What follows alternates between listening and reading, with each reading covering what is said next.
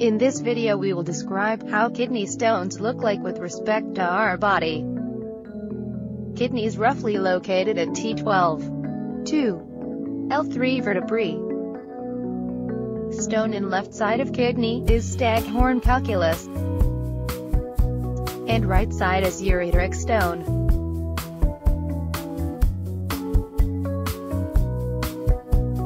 Staghorn calculi are branched stones that occupy a large portion of the collecting system of kidney. Typically, they fill the renal pelvis and branch into several or all of the calyces.